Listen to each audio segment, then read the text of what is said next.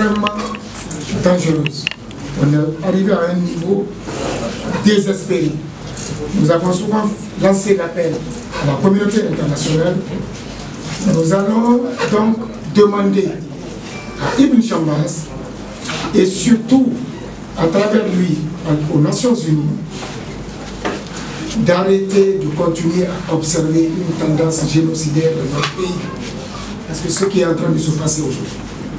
Nous allons demander que la communauté internationale commence à sortir maintenant de la diplomatie douce pour relever son intervention et son concours pour une solution apaisée de cette situation artificielle en prenant des sanctions précises contre certaines personnes aujourd'hui qui sont en train d'alimenter et d'entretenir M. Alpha Condé dans cette situation. Rappelons-nous que M. Alpha Condé est quand même une personne d'un grand âge qui est dans ses vulnérabilités aussi.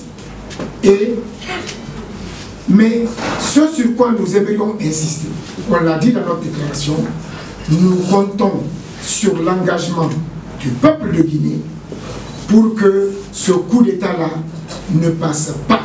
Et notre engagement à ce niveau-là est total. Absolument rien, s'il plaît à Dieu, nous nous fera repousser chemin. Nous allons continuer à ce qu'ils comprennent que c'est une question de vie ou de mort pour nous. Personne ne va confisquer le pouvoir d'État maintenant dans notre pays. C'est terminé. Je vous remercie.